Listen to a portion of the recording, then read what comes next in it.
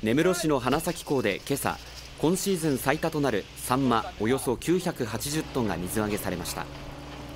花咲港では午後も水揚げが予定されていて1000トン以上の水揚げとなると2019年以来5年ぶりの豊漁だということです。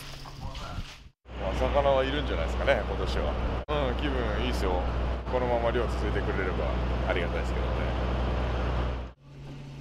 サンマの魚体も大きく油の乗りも良好だということで港では今後も豊漁への期待が高まっています。